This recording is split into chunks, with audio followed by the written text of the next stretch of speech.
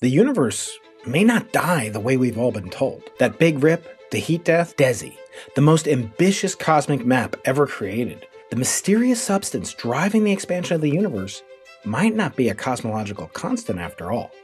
And if that's true, the standard model of cosmology could be cracked wide open. For 25 years, our best theory has been simple and bleak. Lambda, a constant form of dark energy, was going to be stretching the universe apart forever. The farther things get, the faster they go. No end in sight, just cold, empty, bleak darkness. Unless there's a big rip, that would be quite exciting.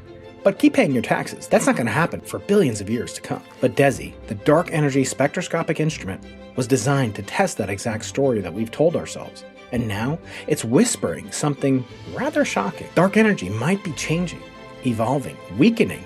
It might not be a constant at all. And that tiny deviation, well, it could rewrite the final chapter of the cosmos. And yet, not everyone is convinced. Some physicists say DESI's data doesn't show a cosmic revolution, just a modeling glitch. That the team fit a model with so many free parameters it could spit out strange results like a negative neutrino mass is physically impossible. They shouldn't be trusted, some say. So is this real? Or is this another hype cycle in the cosmos wrapped in math? Today we'll explore the data, the controversy, and what comes next.